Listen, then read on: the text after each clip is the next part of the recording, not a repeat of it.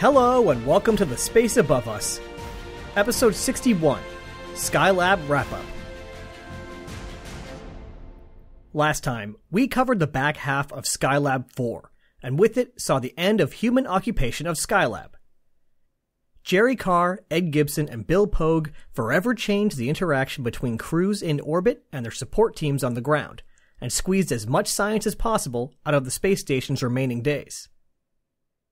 With the safe return of the Skylab 4 crew, we've completed the third of three missions to America's first space station.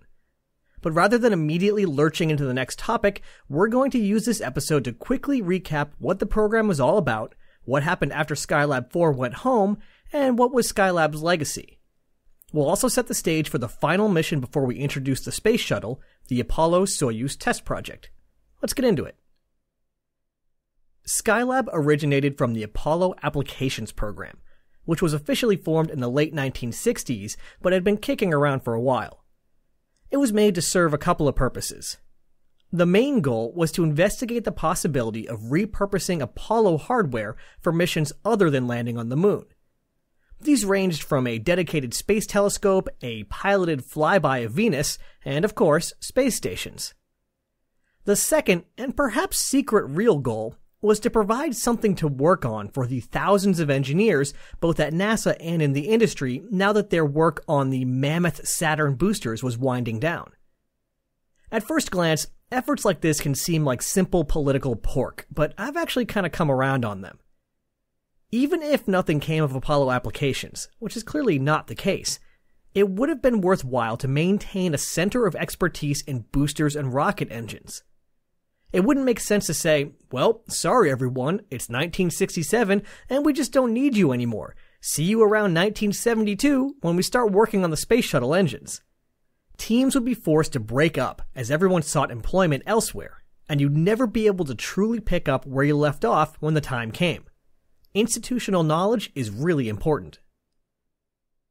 Of all the possibilities studied in Apollo applications, the one that went the distance was the concept of retrofitting a rocket stage into a long duration space station. There was an extensive debate about whether a wet or dry station was the way to go. A wet station would mean flying a live booster into orbit and then retrofitting it into a space station. It was called wet since the interior would be full of propellant at launch and would still have some left in it when retrofitting started. A dry station would be unable to complete the orbital insertion on its own, but would be ready to go out of the box. After the challenges of EVA continued to be a concern, the choice was made to go with a dry station. But wet space stations remain an intriguing concept for the future. What resulted was a large space station made out of a converted S4B stage. Normally, this was either the second stage of the smaller S1B rocket or the third stage of the Saturn V. Instead, it would become the payload and ride on the last ever Saturn V rocket. The structure was dominated by the orbital workshop, which was the S4B itself. Inside, the smaller oxygen tank was converted for waste storage, and the much larger hydrogen tank was converted into a large workspace. It provided a cavernous space for science and day to day life. Flanking the exterior of the orbital workshop were two large solar arrays. Surrounding it was a meteoroid shield, which also doubled as a thermal shield. Once on orbit, the meteoroid shield would deploy several inches away from the exterior of the orbital workshop, keeping it safe from little bits of debris and preventing it from baking in the sun. Atop the orbital workshop sat the airlock module, NASA's first dedicated space based airlock. This allowed crews to exit the spacecraft without depressurizing the whole thing. Hilariously, at least to me, the exterior door of the airlock module was literally just an old door from Project Gemini. Next in line was the Multiple Docking Adapter, or MDA, a multi-purpose structure. First, as the name implied, it contained two separate docking ports. This was considered essential in case an on-orbit rescue was required. Inside was a large array of control panels lining the walls in all directions. One of those panels was used to control the last major component of the Skylab cluster, the Apollo Telescope Mount, or ATM. The ATM represented a huge leap forward for the field of heliophysics, the physics of the sun. By pointing its wide array of cameras and sensors at the sun, high above the interference of the Earth's atmosphere, scientists were able to learn much about the formation of solar flares and coronal mass ejections, which can have a major impact on technology on and around the Earth. It launched perched above the MDA, but shifted to the side once on orbit, allowing access to the docking port on top of the MDA. The large space station dwarfed any spacecraft launched to date. It would also shatter all duration records with plans to host three crews on 28, 56, and 56 day missions, with options to extend them. On May 14, 1973, the years of planning, training, and engineering came to fruition when five F1 engines shattered the muggy Florida air as a mighty Saturn V lumbered off the launch pad one last time. Unbeknownst to flight controllers in the moment, however, all was not well. During ascent, the meteoroid shield came loose and violently separated from the launch vehicle. In the process, it knocked one solar array loose and trapped the other with debris. It also nearly caused the destruction of the second stage when it prevented the S2 skirt from jettisoning as planned. As the S2 departed from Skylab, its small separation motors blasted the loose and partially deployed solar array, tearing it from the spacecraft and leaving a stumpy bundle of torn wires in its wake. Skylab arrived in space with inadequate thermal protection, one solar array unable to deploy, and another missing entirely. Its onboard temperature began to rise. What resulted was an incredible agency wide engineering effort to determine what happened, develop the tools to fix it, qualify them for spaceflight, and train the first crew to use them. Work proceeded around the clock as all of NASA and even some members of the general public pitched in to save the stricken space station. Only 11 days after its nearly catastrophic ascent, Skylab's first crew, Skylab 2, leapt off the launch pad. An exultant Pete Conrad, commander of the mission, called out, We fix anything. And indeed they would. Conrad, along with science pilot Joe Kerwin and pilot Paul Weitz, embarked on a series of ambitious and hastily planned spacewalks to save the crippled station. First, they deployed a large expandable thermal shield through the small sun facing scientific airlock. The so called parasol was not a permanent fix, but it successfully ended the thermal crisis. Next, Conrad and Kerwin performed a hair raising EVA to free the remaining solar array and manually deploy it. The Skylab 2 mission was not what the crew expected during training, but would go down as one of the most notable spaceflights of all time. They pushed the envelope on what was possible on an EVA, saved a $10 billion space station, and gathered valuable scientific data. After 28 successful days in space, the crew returned home. 36 days later, it was Skylab 3's turn in the spotlight. The mission was commanded by Pete Conrad's lunar landing partner, Alan Bean, with Owen Garriott serving as science pilot and Jack Lousma as pilot. While not as extreme as the problems encountered by Skylab itself, Skylab 3 also ran into some troublesome malfunctions almost immediately.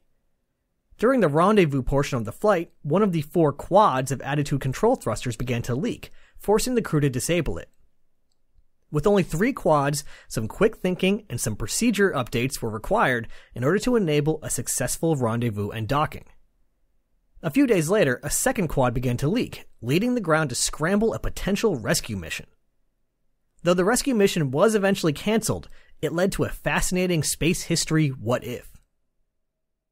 While Skylab 2 had stabilized the space station's thermal situation, it fell on Skylab 3 to install a more permanent solution – the window shade or two pole thermal cover was installed by Garriott and Lousma on a lengthy spacewalk, resolving the thermal crisis for the remainder of the program. The crew was struck by an early bout of space adaptation syndrome or space sickness and soon fell behind on their scheduled tasks. By changing their routine and knuckling down over the remaining weeks, they managed to not only complete all of their scheduled tasks, but forced Mission Control to come up with new ones, at the end of their 59 day stay, they had hit peak efficiency and had deserved a well earned break. In order to accommodate observations of the newly discovered comet Kohoutek, the next flight didn't launch for 52 days. When it did, the crew of Skylab 4 was prepared to stay for the long haul. Officially, the mission was only planned to be 56 days, but after that, weekly extensions would be granted depending on the state of the spacecraft and the crew. Flying the mission was the first all rookie crew since Gemini 8 Commander Jerry Carr, science pilot Ed Gibson, and pilot Bill Pogue. With all Skylab repairs complete, the crew of Skylab 4 were able to exclusively focus on their science mission. That mission was altered somewhat at the last minute by plans to observe Comet Kohoutek, which would be passing behind the Sun during their stay in orbit. When the crew arrived, they found that, like the Skylab 3 crew, they were having some initial difficulty adapting to space. Slowed down by the nauseating condition and sapped of energy, Skylab 4 also started to slip behind schedule. Inadequate training for late additions to the mission objectives didn't help the situation. The problem was further exacerbated by the quick tempo set by the Skylab 3 crew at the end of their mission. Reluctant to voice their grievances over the open comlink and come off as complainers, the Skylab 4 crew gritted their teeth, tried to carry on with the task at hand, and fell further and further behind. Eventually, the problem was too great to ignore, and Carr, Gibson, and Pogue had a heart to heart with mission controllers over the air. After both sides clarified their positions and preferences, the mission was able to continue successfully. The early friction may have been regrettable and spawned space based urban legends, but it proved to be a valuable lesson to both astronauts and mission controllers. The mission also became notable for being the first to capture the initial formation of a solar flare from space. The valuable data Ed Gibson captured from the ATM console changed our understanding of the sun's behavior. After 84 days in space, the three men returned home safely.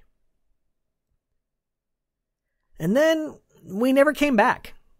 Now, to be fair, the plan was to fly three crews, and three crews they flew. And by the time that third crew splashed down, the cluster was showing its age.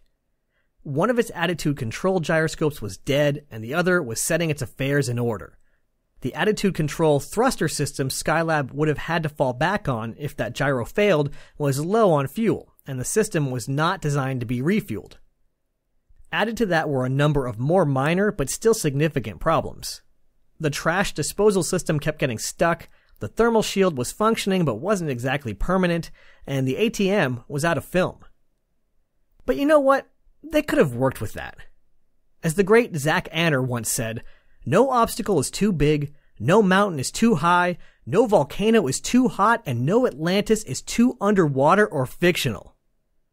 And besides, as I have recently learned in alarming amounts of detail, just because a spacecraft wasn't designed to be refueled doesn't mean it can't be.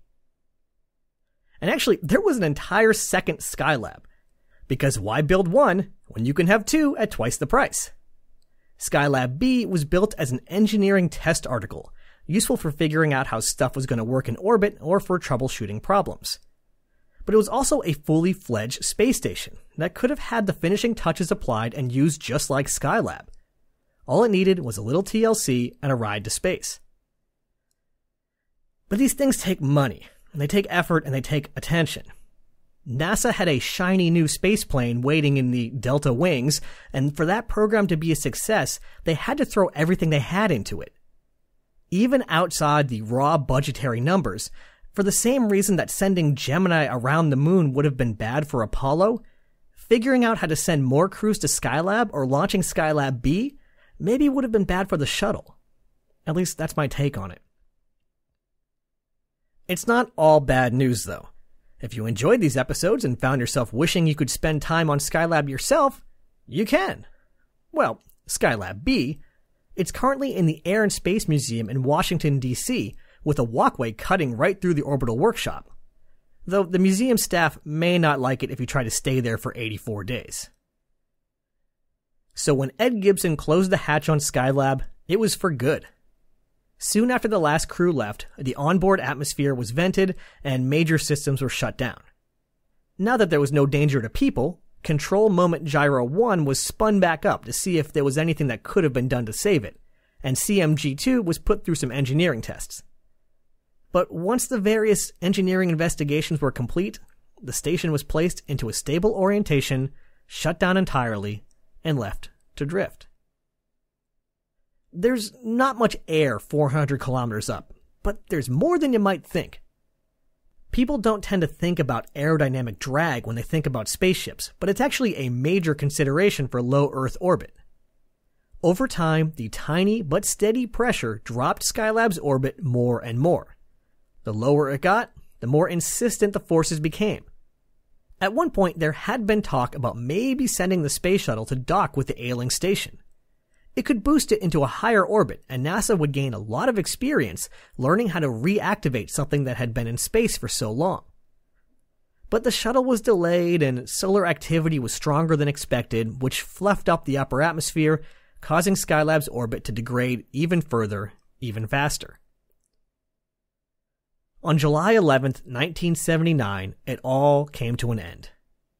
After traveling 1.4 billion kilometers over the course of 34,981 orbits, Skylab tore through the upper atmosphere in an uncontrolled entry. Unfortunately, the uncontrolled entry caught on in the media, and for weeks the impressive space station became the butt of many a joke as people wondered where it might land. NASA put the odds at around 1 in 150 that a piece might actually hit a person, but the odds were a lot better that it might hit a structure. My dad even commented that at the time he had hoped Skylab might hit his back porch since he needed a new one anyway and was happy to let NASA pay for it. The media frenzy was for naught though. As the station first experienced peak heating and then encountered thicker air, it fragmented into countless parts. Most landed harmlessly in the ocean, but a significant number did land on Australia, where they thankfully caused no damage. And that was the end of Skylab. Over the course of 1973 and the early part of 1974, Skylab dominated the human spaceflight landscape. In total, Skylab was occupied for 171 days, playing host to nine men across three missions. Only 10 years earlier, NASA was celebrating Gordon Cooper spending 34 hours stuffed into a Mercury capsule barely big enough to accommodate his 5 foot 8 inch frame. Now each guy in the three person crews had his own bedroom in space. Where we once were awed by Gemini 7 limping across the finish line after nearly 14 days, now we yawned as Skylab 4 passed a similar milestone with 70 days remaining in the flight. The three crews performed 10 spacewalks, including what I'm prepared to call the most absurd EVA in history, with Paul Weitz hanging out the door of the Apollo command module, yanking on the debris trapping the solar array as Joe Kerwin held his legs and Pete Conrad tried to keep the CSM from crashing into the orbital cluster. Adding it up, all nine crew members spent a total of 41 hours and 51 minutes outside their spacecraft. During those 41 hours and 51 minutes, they broke new ground on what was even possible during an EVA. Crews were forced to improvise, get creative, and occasionally use brute strength to get the job done. Over the course of 171 days, hundreds of experiments were performed, the crew took thousands of photos of the Earth, the ATM took hundreds of thousands of photos of the Sun, and two spiders paid the ultimate price for science. But Skylab's legacy is more than a pile of interesting numbers.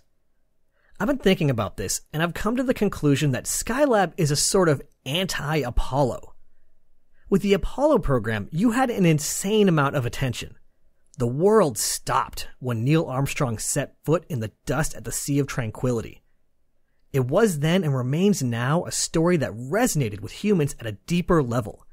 A hero story of exploration and danger that all cultures share.